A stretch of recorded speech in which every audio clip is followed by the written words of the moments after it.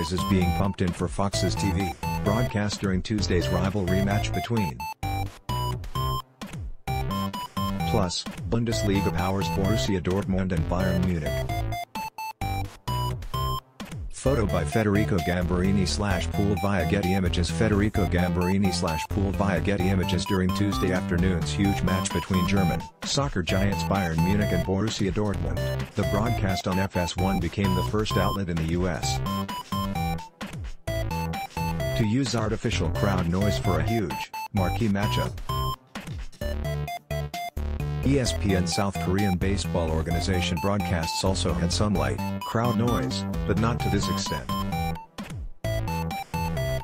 To me, it was a little jarring and ridiculous to hear the crowd noise associated with a huge game like Der Klassiker and see no fans at all in the seats as a precaution during the coronavirus pandemic. While reaction has been mixed for Fox's Bundesliga experiment, which started over the weekend, some fans seem to be into it. A very informal awful announcing poll of 1,500 Twitter users showed that 37% like it, 33% hate it and 30% still can't decide.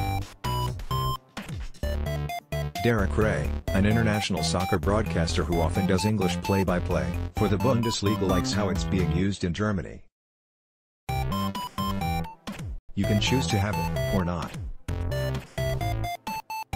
If it were me, would rather hear it in the context it's being played, he said, i.e. how the players are experiencing it. But others might see slash hear it differently. There's definitely a disconnect, Rae and I agree, on seeing the empty seats and still hearing the artificial roar of the non-existent crowd. But when I look away to read Twitter and I'm only hearing the broadcasters describe the action, the crowd noise puts me at ease, a comforting, normalizing feeling. There's no doubt that every network in major U.S. Pro and college sports league will look at the Bundesliga on Fox Fox to see how this artificial crowd noise not only looks and sounds but how fans react to it.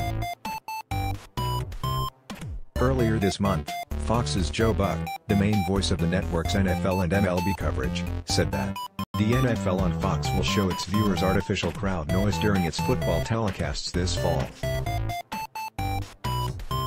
With the NBA planning to come back at an empty Disney World in Orlando in July, it'll be interesting to see how it manages its broadcast as it jumps straight to the end of the regular season and or the playoffs.